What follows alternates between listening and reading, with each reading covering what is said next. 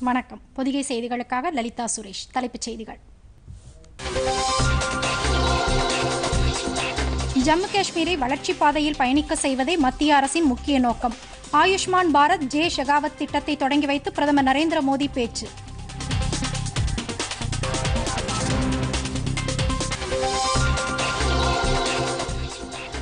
சமூக வளர்ச்சியில் தாத்ரா நாகர் ஹவேலி டாமன் டையூ யூனியன் பிரதேசங்கள் பெரும் வளர்ச்சி கண்டுள்ளன.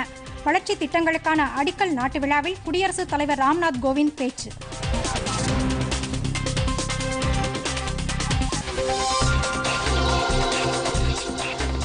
கடந்த ஆறு ஆண்டுகளில் விவசாயிகளுக்கு ஆறு மடங்கிற்கும் அதிகமாக நலத்திட்டங்கள் செயல்படுத்தப்பட்டுள்ளன.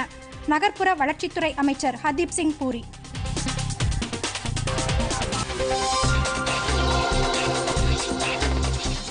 கொரோனா பாதிப்புக்கு இடையே மிகப்பெரிய சேவைகளையும் சாதனைகளையும் ரயில்வே செய்துள்ளது. ஆண்டறிக்கையில் ரயில்வே அமைச்சகம் தகவல்.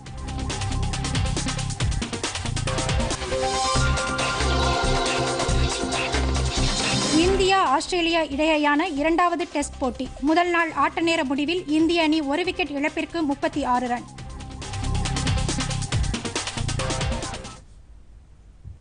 பொதிகை செய்திகளை யூடியூபில் தமிழ் நியூஸ் தூர்தர்ஷன் என்ற சேனலிலும் முகநூலில் டிடி பொதிகை நியூஸ் என்ற பக்கத்திலும் ட்விட்டரில் டிடி நியூஸ் சென்னை என்ற பக்கத்திலும் இன்ஸ்டாகிராமில் டிடி பொதிகை நியூஸ் என்ற பக்கத்திலும் காணலாம். மேலும் உங்கள் கருத்துக்களை Podhigai DD news at Gmail dot com என்ற மின்னஞ்சலில் தெரிவிக்கலாம்.